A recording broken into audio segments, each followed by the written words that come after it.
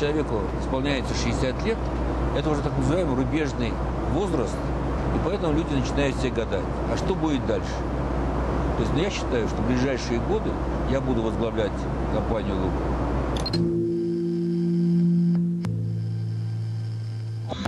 День первый, 14.30. Самолет с президентом компании «Лукойл» взлетает из Москвы и берет курс на север. Главная цель по поездке в Коми – это представление нового генерального директора нашего предприятия в Коми. То есть в я его представлю главе республики. И у нас подписание соглашения с главой на ближайшие пять лет о социальном партнерстве. То есть традиция компании со всеми регионами иметь понятные правила отношений. А вот заключаете соглашение, вы от чего пытаетесь уйти? От того, чтобы к вам э, по любому поводу обращались, дайте денег? Да, от непредсказуемости. Як-42 приземляется в Сыктывкаре, столице республики Коми. 40% ее бюджета – это налоговые отчисления Лукойла. И президент компании ездит тут действительно по-президентски, кортежем с милицейским сопровождением. В Москве один Мерседес и джип охраны. На встречу с главой республики у Олег Перова считанные минуты.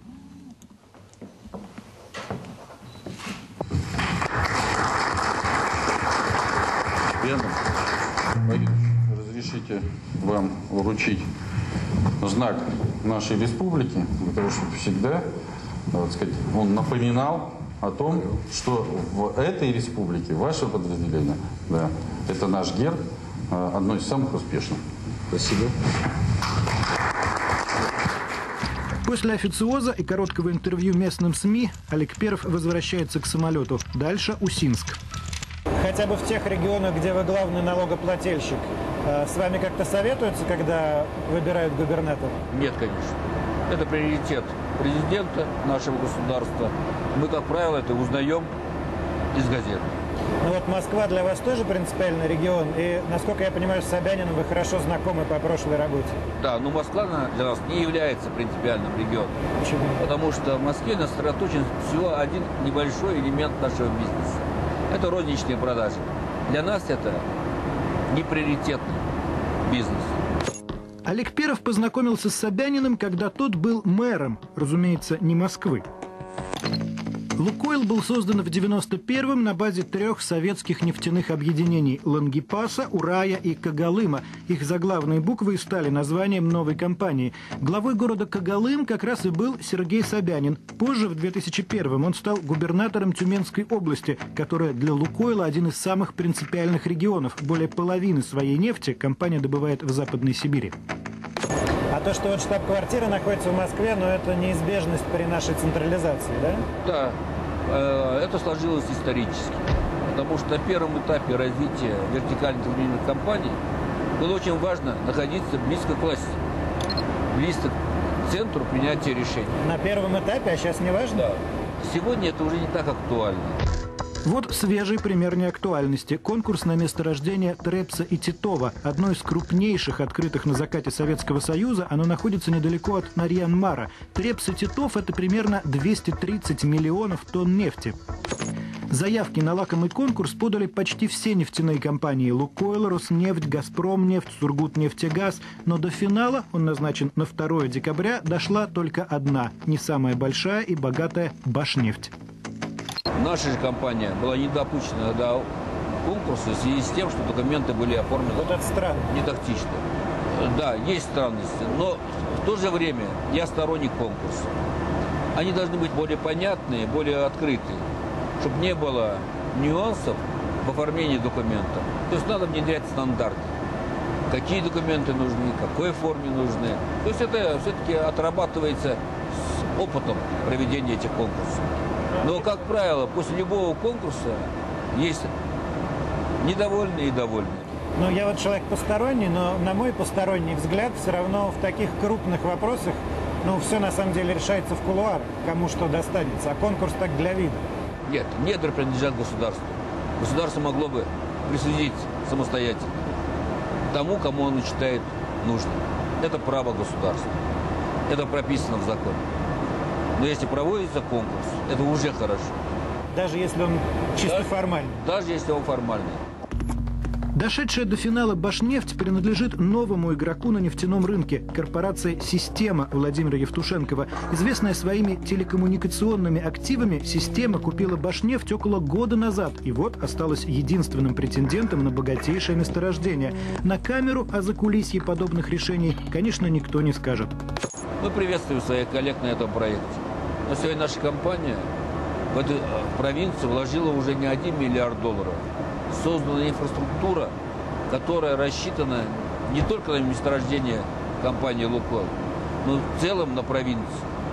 Поэтому мы уверены, кто бы не победил в этом конкурсе, он в любом разе будет тесно сотрудничать с нашей компанией и использовать нашу инфраструктуру. Термин «провинция» – профессиональный жаргонизм. Олег Перов имеет в виду не уездную глубинку, а залежи нефти. Провинция – это район, где обнаружено несколько месторождений. На территории России «Лукойл» разрабатывает Большехетскую впадину, Тимано-Печорскую, Западно-Сибирскую, Предуральскую, Северо-Каспийскую и Поволжскую провинции. Свой вопрос стоит о другом. Э, наши провинции все достаточно уже старые. Это и, и Поволжье, это и Тимано-Печора, и Западная Сибирь. Сегодня необходимо ускоренный ввод и подготовка новых месторождений к разработке, чтобы потенциал страны сохранить. Сегодня необходимо, чтобы правительство более агрессивно выставляло на э, конкурс новые участки недр с целью их геологического изучения и разработки, чтобы можно было уже через 10-15 лет иметь подготовленные месторождения для компенсации добычи, которые мы сегодня уже производим. Лукойловское месторождение в Каспийском море – яркий пример того, сколько денег и времени уходит на разработку провинции. Промышленная добыча нефти началась там в 2010-м, а обнаружили месторождение в 95-м, причем силами Лукойла, которому государство за эту находку доверило ее и разрабатывать. Мы нашли возможность рискнуть, вложить туда полмиллиарда долларов и открыли новую провинцию для нашей страны. Для меня это был самый знаменательный день. Потому что как для профессионала открыть новую провинцию, это бывает раз в жизни. Всего на поиски, разработку, бурение, подводный нефтепровод и строительство уникальной ледостойкой морской платформы ушло почти 7 миллиардов долларов. Но чтобы обеспечить жизнь компании через следующие 15 лет, надо уже сейчас начинать разработку новых провинций.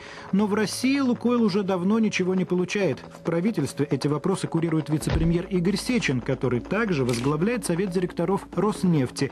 Ее глава Сергей Богданчиков, у которого отношения с Сечиным не сложились, недавно покинул компанию. Я не буду задавать вопрос, какие отношения у вас с Сечиным. Понятно, что вы скажете хорошие рабочие.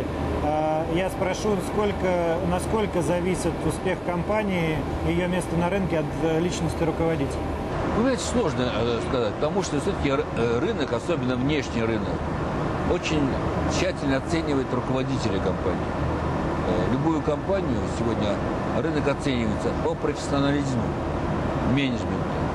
Мы считаем, что наша компания профессиональный менеджмент.